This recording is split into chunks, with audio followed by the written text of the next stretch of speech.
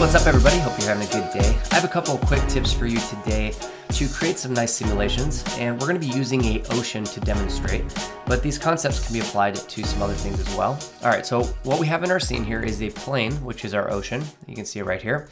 And on that plane, we have a cloth tag. The bendiness is at 30, stretchiness 2, zero bounciness, a little bit of friction, and you can see the settings here, mass 1.9.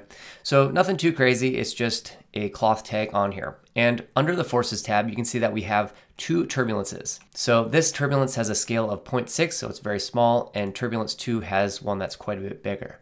All right, so if we hit play, you can see that this is our ocean, and we have turbulence 1 set on right now and it's affecting this entire ocean plane. So the thing about an ocean is that the water will look different based on where it is. If it's out in the open ocean, it'll look a little bit different, but it should also respond to these rocks. And when the water gets into a shallower place with rocks, a lot of times it'll kind of swell up and you'll have a sort of a bigger uh, swelling action rather than the little ripples out in the open ocean.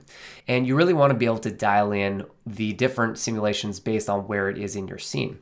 So here's how we're going to do that. Let me uh, turn on this Turbulence 2 for you really quick, just so you can see what this one looks like. This is the one that is a lot bigger and you have some big swells, but we don't want this to affect the whole plane out in the open ocean just by the rocks. So we're going to go to our ocean plane and we're going to right click on it and go to other tags and we'll click on a vertex map.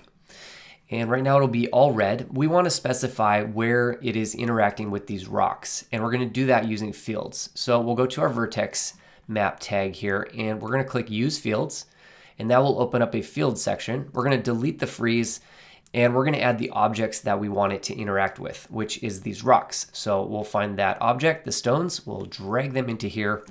And if we click on that, we have some options down here. So we'll give it a second to calculate and now you can see that wherever this plane is intersecting or bumping into these rocks, we're getting the yellow, meaning that the vertex map is applying to these sections. And we can change that under the radius here. So right now it's at 20. If we double that, we can grow that out. And now we want to use the yellow sections to drive that second turbulence. And we can do that by going to our second turbulence. And this one also has a fields tab. If we click on that, we can drag that vertex map that we just created into the field slot and let go.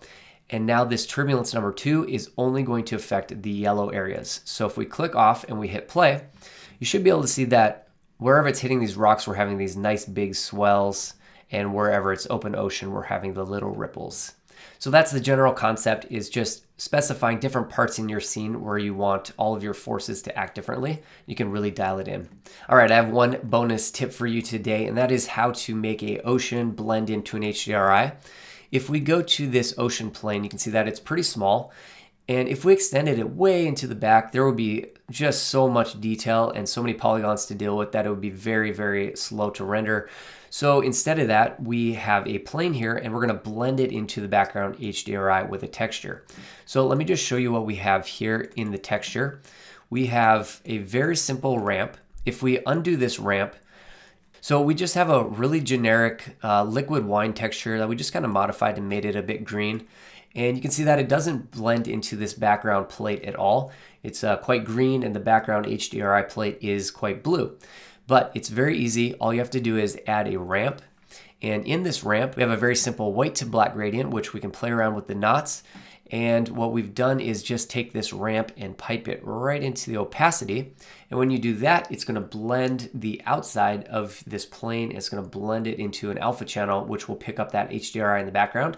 You can see that it very nicely blends the two together. So there's a couple quick tips for you. I hope you found them useful. Huge shout out to Alessandro Bancio for helping me out with these tutorials. And uh, thanks for checking out the Pixel Lab. We'll talk to you next time. Ciao.